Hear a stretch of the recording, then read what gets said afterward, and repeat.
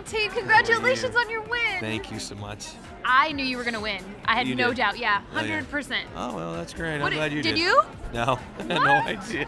No I had Tate idea. confidence in there. You know what? I, I mean, I was confident, but it was just, you know, you never know. That's Um, true. This is nuts. This, This is nuts. crazy. This is crazy. Man. I, oh my God.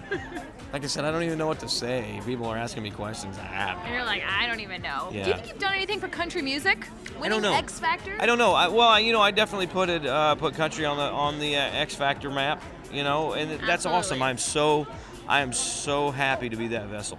Uh, you know, country fans are the most loyal. Uh, They are, around. definitely. Do you have anything you want to say to LA real quick?